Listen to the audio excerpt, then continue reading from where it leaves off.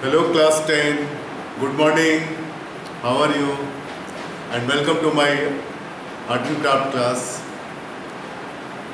And today you will be learn about pencil work, still life with pencil work. तो चलो start करते हैं ये पेंसिल ये pencil shading not pencil shading with colour pencil this is colour pencil and water soluble pencil बस जो uh, पानी के साथ इसको हम मिक्स uh, भी कर सकते हैं। इसको थोड़ा सा इसका यूज़ करके मैं दिखा रहा हूँ आपको।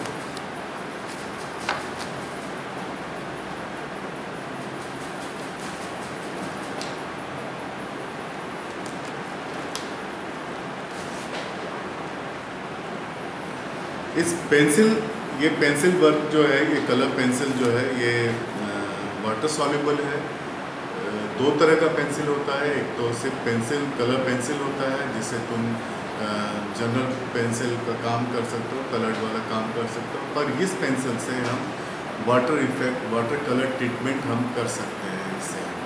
तो आज हम वैसे ही पेंसिल का काम स्टार्ट कर रहे हैं, वैसे ही पेंसिल का काम आपको बताने जा रहे हैं।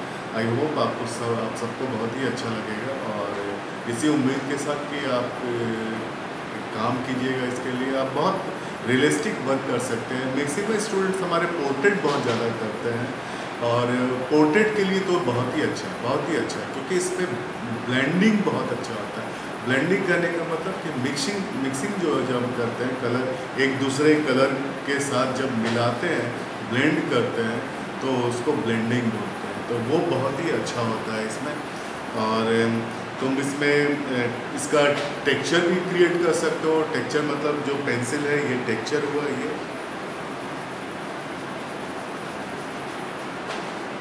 ये पेंसिल का टेक्सचर है। और हम, इसको हम वाटर कलर की तरह वो भी काम कर सकते हैं। तो एक हम कोई भी एक डार्क कलर ले लेते हैं।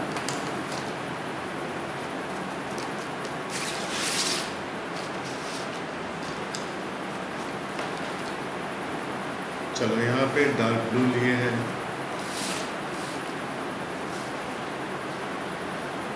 पहले दो कलर के साथ एक ब्लैंड करके दिखाते हैं, क्योंकि आज हम एक नेचर स्टडी करेंगे, और ये मेरे सामने ये पॉट रखा हुआ है, तुम देख रहे हो एक पॉट रखा हुआ है स्नैक प्लांट का एक पॉट छोटा सा एक पॉट रखा हुआ है, और इस पॉट पे जो प्लांट है, इसका स्टडी करेंगे। एज इट इज़ जो कलर है इसमें, जैसा लाइट शेड है वैसा ही हम आज एक नेचर स्टडी बनाएँगे। नेचर स्टडी नेचर का वो पार्ट जिसको हम लोग हूबहू बनाने की कोशिश करते हैं एजिटिव उसको बनाने की कोशिश करते हैं उसमें जो लाइट सेट जो प्रॉपर लाइट सेट उस पर गिर रहा है उस लाइट सेट का स्टडी करते हैं उसको नेचर स्टडी करते हैं। और एक बात क्लास टेन के लिए ये बहुत आ, अच्छा है ये क्योंकि क्लास एलेवन में आप सब जानते होंगे कि क्लास 11 में हमारे यहाँ फाइन आर्ट्स का दो सब्जेक्ट है। एक है ग्राफिक है और एक है पेंटिंग ग्राफिक सब्जेक्ट जो प्रिंट से रिलेटेड है प्रिंट मीडिया से रिलेटेड है वो, जिसमें कि प्रिंटिंग प्रोसेस है वो वो कई तरह से टेक्निकल आर्टवर्क उसमें ज़्यादा होता है, जो वुड प्रिंट करते हैं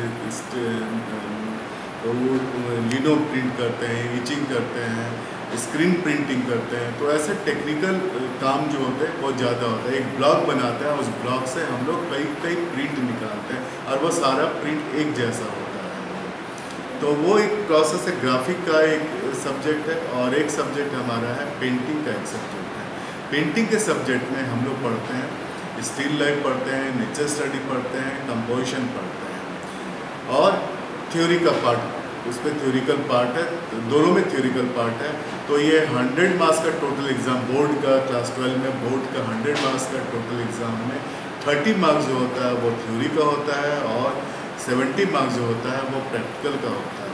तो अगर तुम्हारा ये प्रैक्टिस बना रहेगा, किया हुआ रहेगा तो तुम्हारे लिए बहुत ही अच्छा होगा कि तुम क्लास 11 में, जबकि क्लास 11 में जाने पे लोड काफ़ी ज़्यादा हो जाते हैं बच्चों पे, क्योंकि उनका स्कूल का काम स्कूल और उसके बाद प्राइवेट ट्यूशन कोचिंग ये भाग दौड़ में आर्टवर्क करना थोड़ा सा डिफ़िकल्ट हो जाता है, समय निकालना थोड़ा मुश्किल हो जाता है, क्योंकि वो मेन सब्जेक्ट है तुम्हारा। और अगर तुम्हारा ये काम पहले का किया हुआ है, पहले से तुम जानते हो तो तुम्हारे लिए ये बहुत ही फ़ायदेमंद होगा, बहुत ही अच्छा होगा तुम्हारे क्लास एलेवन ट्वेल्व के लिए। तो ये एक टॉपिक को आज हम इंट्रोड्यूस कर रहे हैं तो प्लीज़ आप इसको ध्यान से देखिए और आप बनाने का भी कोशिश कीजिए इसको। और ये सारा काम आप, आपका हम देखेंगे, ज़रूर देखेंगे। ऐसा नहीं है कि ये हम लोग लंबे समय के लिए इस तरह से मतलब बंद रहेंगे, आपस में मिलेंगे नहीं। ऐसा नहीं है। बहुत एक उम्मीद करते हैं कि जल्दी से जल्दी ये सिचुएशन हैंडल हो जाए, कि जिससे हम सब आपस में फिर से मिलेंगे। और फिर से वैसा ही काम करेंगे, वैसा ही मतलब लाइव क्लासेस करेंगे। जैसे लाइव क्लासेस में मज़ा आता है, जैसे लाइव क्लासेस में ज़्यादा से ज़्यादा सीखने का मौका मिलता है, क्योंकि उसमें फिजिकली हम, तुम एक दूसरे से उसमें कनेक्ट हो पाते हैं। तो वो, तुम तुम जो गलती करते हो, उसको तुरंत देख लेते हैं, तुरंत उसको सुधारने की कोशिश करते हैं। पर ये भी एक कोशिश है बहुत ही अच्छी कोशिश है और इसमें ट्राई करो, तुम लोग बहुत ही अच्छा करोगे। और ज़रूर क्लास के बाद जो है, जब ये सिचुएशन जब हैंडल हो जाएगा तो उसके बाद जो एज यूजल जब हमारा क्लासेस चलने लगे, उस समय फिर हम ये काम देखेंगे और ज़रूर उसमें सुधार करने की कोशिश करेंगे तो चलो स्टार्ट करते हैं। एक तो यहाँ पे टेक्सचर दिए पेंसिल का टेक्सचर दिए। अब हम दो कलर लेकर के हम ब्लेंड करने का कोशिश कर रहे हैं। एक लेते हैं येलो लेते हैं। और एक लेते हैं ऑरेंज लेते हैं।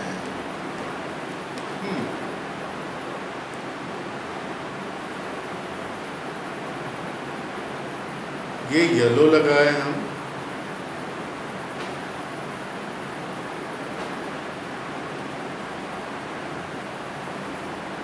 अब हम इसमें ऑरेंज लगा रहे हैं।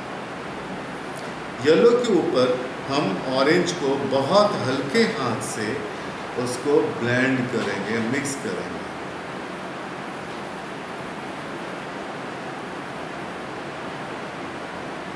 ये हमारा हो गया। देखो, बहुत ही अच्छे से हुआ है। बहुत ही अच्छा से हुआ है ये। और ये धीरे धीरे इसका डार्क जो है वो हम बढ़ाते जा रहे हैं, यानी ये फ़र्स्ट टोन है, ये सेकंड टोन है।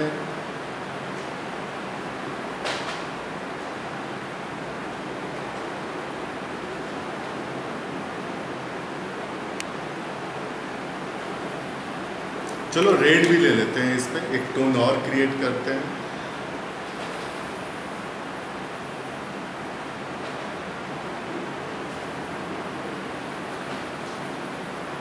ऑरेंज के ऊपर उसको ब्लेंड करने के लिए बहुत ही हल्के हाथ से, बहुत ही हल्का हल्का मतलब ये देखो, हम यहाँ पे ये लगा रहे हैं। बहुत हल्का विजिबल होगा तुमको तब दिखाई नहीं देगा। और धीरे धीरे हम उसका डार्क बढ़ा रहे हैं, फिर एकदम डार्क कर रहे हैं। ये एकदम डार्क कर दिया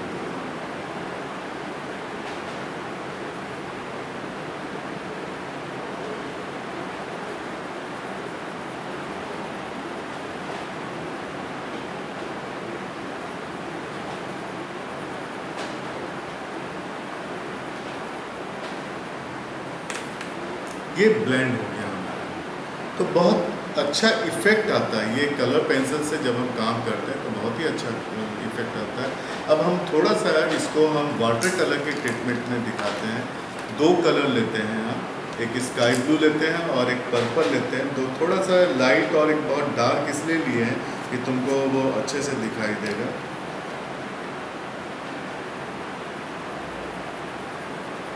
ये कोबाल्ट ब्लू है नो सॉरी स्काई ब्लू नहीं है, कोबाल्ट ब्लू है। और हम इसमें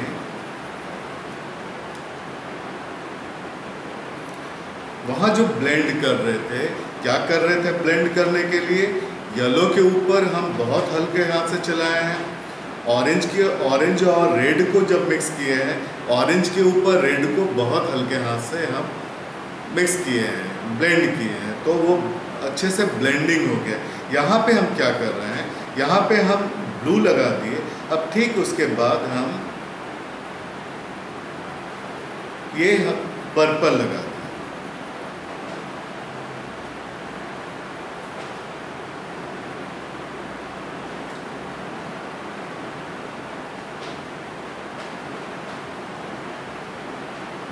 यहाँ हम मिक्स नहीं कर रहे ये जो जंक्शन ये जो देख रहे हो यहाँ पे।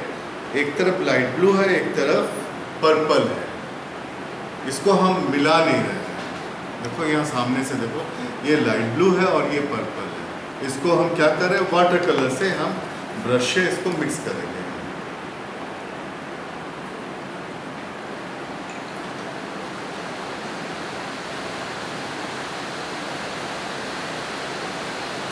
बहुत कलर आ गया है ब्रश में। और ये मिक्स जो है, धीरे धीरे इसको ब्रश को हर बार लाइट करने के लिए हम पानी लेंगे। ब्रश को बहुत ज़्यादा पानी नहीं लेंगे, हल्का पानी लेंगे, उसको गीला करेंगे और उसको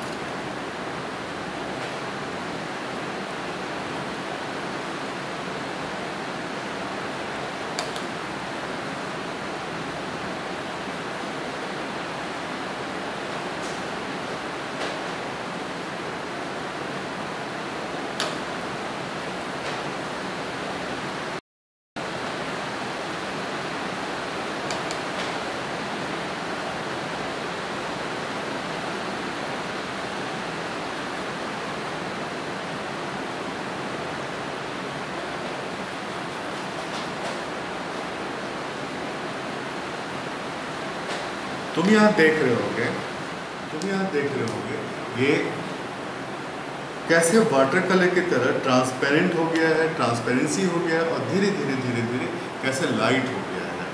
यहाँ दिख रहा है, ये ठीक से, ये थोड़ा क्लोजअप कर रहे हैं इसको इसको देखो ठीक से, ये क्लोजअप किया। है ना? तो ये काम कर सकते हैं। अब हम करते हैं एक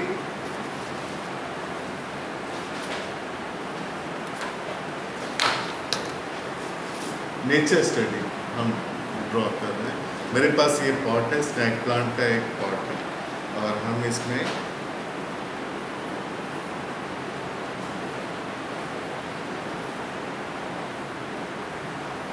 इसको देखते हुए जैसे है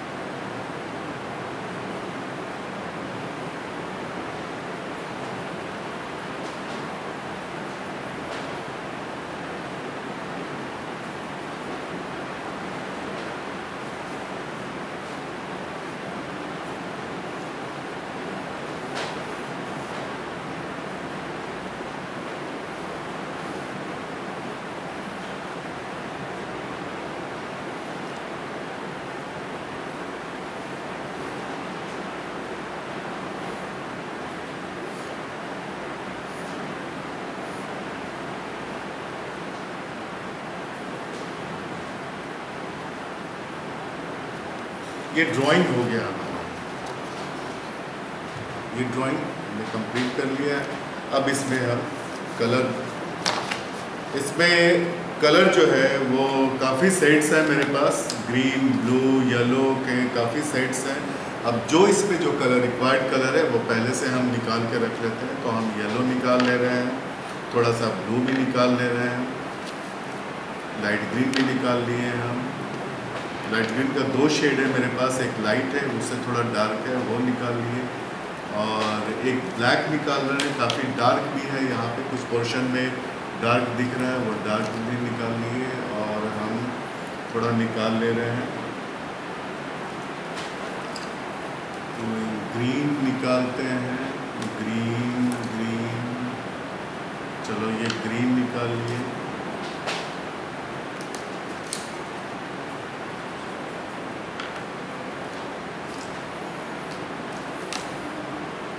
ग्रीन के दो तीन शेड्स हैं मेरे पास, वो सारा निकाल लिए ये कलर निकाल लिए। अब ये कलर से स्टार्ट करते हैं, अपना काम स्टार्ट करते हैं। इसमें जैसा कलर दिया हुआ है, कोशिश कीजिए आपके पास। अच्छा एक बात और। हो सकता है कि ये कलर सबके पास नहीं होगा। उसके पास होगा, उसके पास नहीं होगा। तब तुम क्या करोगे? काम बंद नहीं करना है। क्रेउन कलर सबके पास होगा। इसको हम वाटर कलर ट्रीटमेंट की तरह काम नहीं कर रहे हैं। वो हम इसलिए बताए कि इस पेंसिल से हम वाटर कलर ट्रीटमेंट भी काम कर सकते हैं। पर ये काम जो कर रहे हैं, ये प्योर पेंसिल का ही काम कर, कलर पेंसिल से ही काम कर रहे हैं। वही इफ़ेक्ट वही टेक्चर हम देने की कोशिश कर तो अगर नहीं है तुम्हारे पास, ये कलर नहीं है तो तब तुम क्रेउन कलर से काम कर सकते हो, पेस्टल कलर से काम कर सकते हो। But it should be colourful वो पेंसिल सेडिंग नहीं करना है इसमें। समझ गए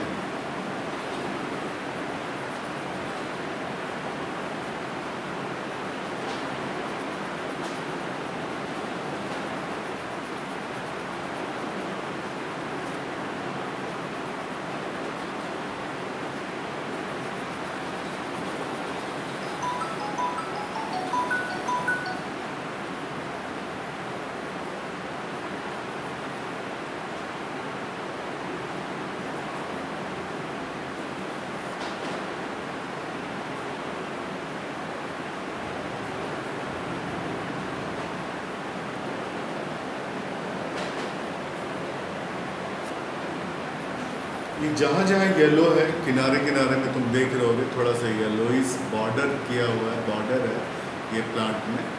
और ये बहुत कॉमन प्लांट है स्नैक प्लांट ये थोड़ा सा ड्वाफ स्नैक प्लांट है, इसीलिए ये बड़ा ये बड़ा बड़ा भी होता है, काफ़ी हाइट का भी ऐसे डेढ़ फीट दो फीट तक भी जाता है ये हाइट लेकिन ये ड्वाफ वेराइटी है मेरे पास ये, उसका ही मैंने किया है।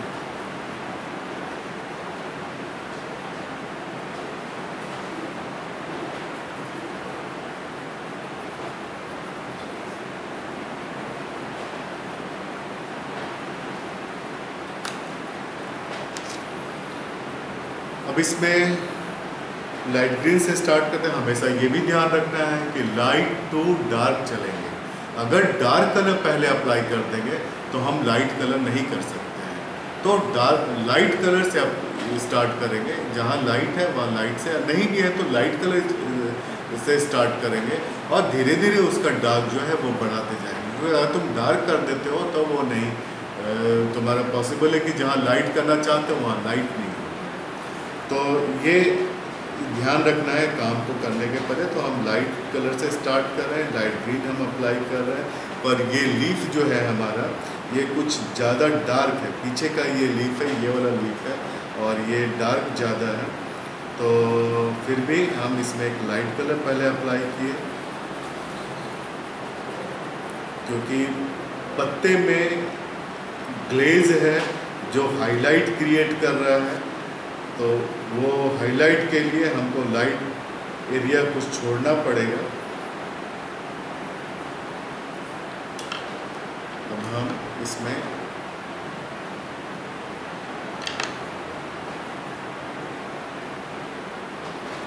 डार्क ग्रीन अप्लाई कर रहे हैं।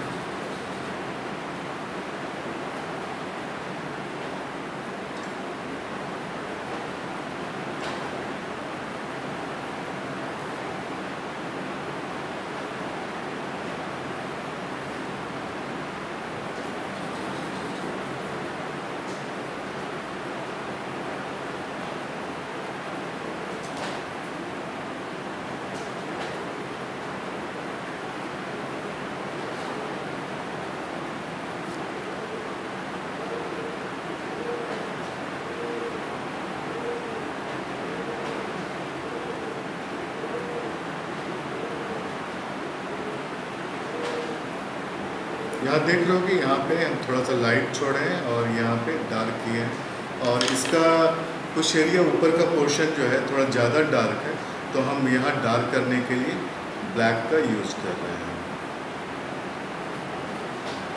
तो क्योंकि इसमें ब्लू नहीं डायरेक्ट हम ब्लू ब्लू लगा सकते थे, पर ये पत्ता कुछ ज़्यादा डार्क दिख रहा है, इसीलिए हम यहाँ पे थोड़ा सा ब्लैक का भी यूज़ कर रहे हैं।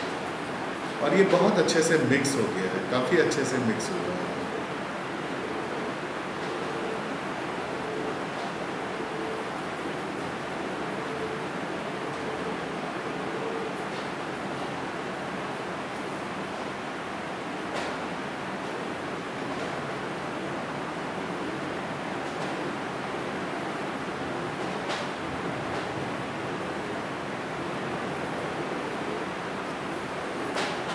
इसके यहाँ जो येलो लगा है येलो में भी हल्का सा ग्रीनिश इफ़ेक्ट है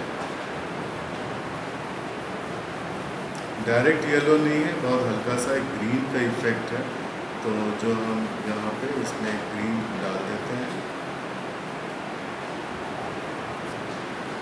ये सेंटर लीफ है हमारा, जो सेंटर लीफ जो है वो कुछ ज़्यादा लाइट है।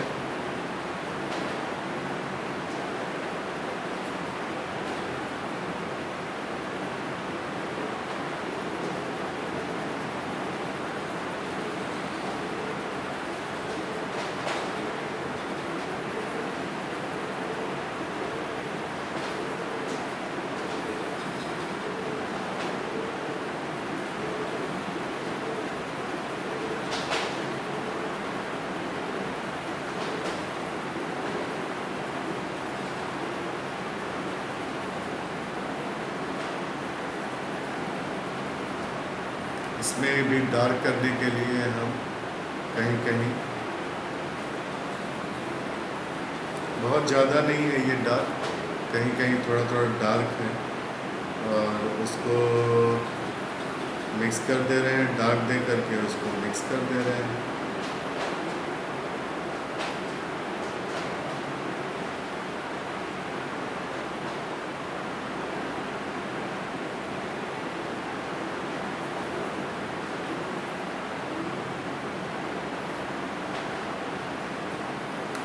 फिर यहाँ एक नीचे का एक लीफ है हमारा, जो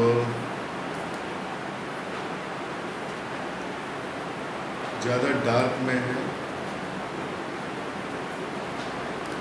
तो डार्क ग्रीन अप्लाई करते हैं पहले हम इसमें, पूरा फ्लैट डार्क ग्रीन अप्लाई करते हैं, क्योंकि इसमें कहीं भी हाईलाइट नहीं दिख रहा है। क्योंकि लाइट का सोर्सेज इस पर नहीं है, क्योंकि एकदम नीचे के तरफ़ है ये। और ये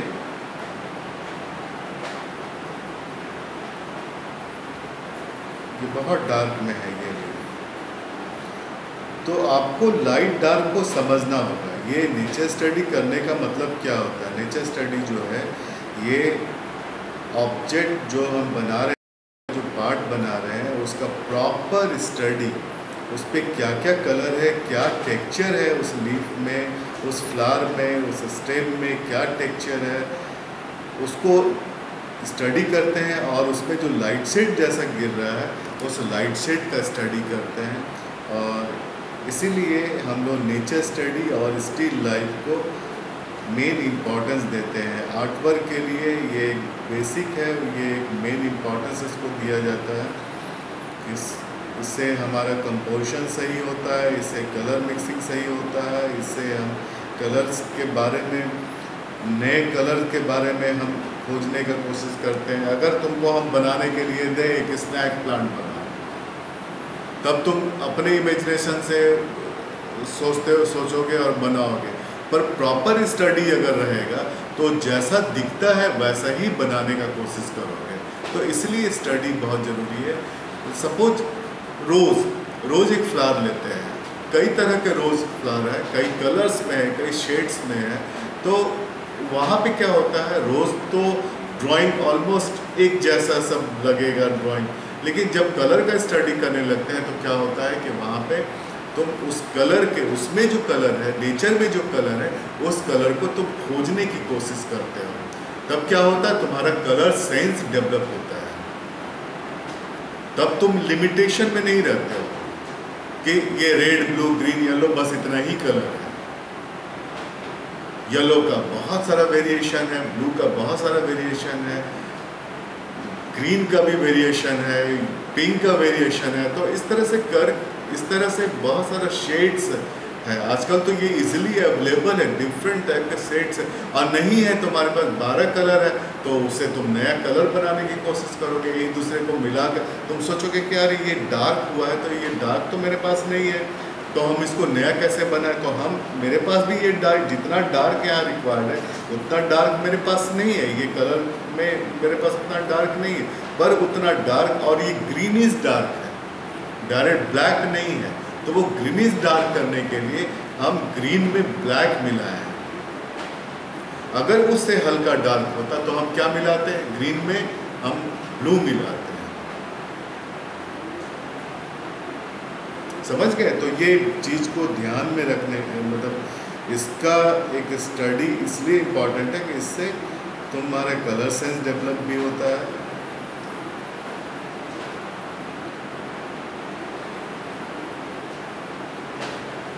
इस तरह से ये काम हम कर रहे हैं। ये थोड़ा सा नज़दीक हम इसको कर रहे हैं।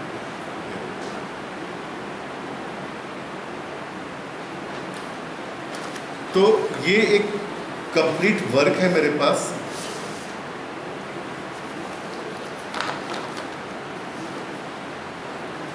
ये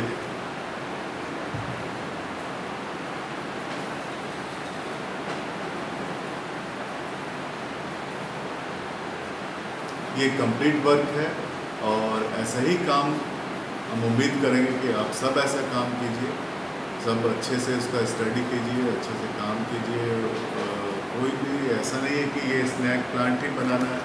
घर के आसपास कोई भी लीफ ले सकते हो कोई क्रीपर ले सकते हो जो तुमको अच्छा लग रहा है। थोड़ा सा एक आर्टिस्टिक टच होना चाहिए उसमें और उसका स्टडी कर सकते हो। और ये भी ज़रूरी नहीं है। अच्छा और एक बात कि जब हम स्टडी करते हैं तो कोई प्लांट अगर हम लेते हैं और उसका स्टडी करते हैं उसका स्टेम तोड़ के लाते हैं और एक आ, किसी पॉट में हम उसको रख देते हैं या ऐसे ही रख दिए और उसको देख के बना रहे हैं। तो कोई ज़रूरी नहीं कि उसमें जितना बना हुआ है लीफ, उतना ही लीफ तुमको भी बनाना है। अगर उसमें 10-12 लीफ है उस स्टेम में तो तुम उतना ही बनाओगे, ये ज़रूरी नहीं है। उसमें से तुम खुद ही सेलेक्ट कर लो कि ये चार पाँच लीफ का कंपोजिशन हमको तैयार कर। लेकिन एटलीस्ट कम से कम चार पाँच तो होना ही चाहिए। तब वो कंपोजिशन भरा हुआ लगेगा कंपोजिशन देखने में सुंदर लगेगा समझ गए? तो ऐसे ही उम्मीद करते हैं कि आप सबको बहुत पसंद आया होगा, बहुत अच्छा लगा होगा ये नेचर स्टडी और आप भी काम कीजिएगा इसके लिए।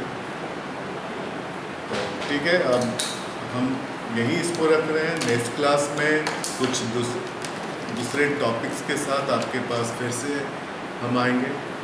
और तब तक के लिए thank you thank you very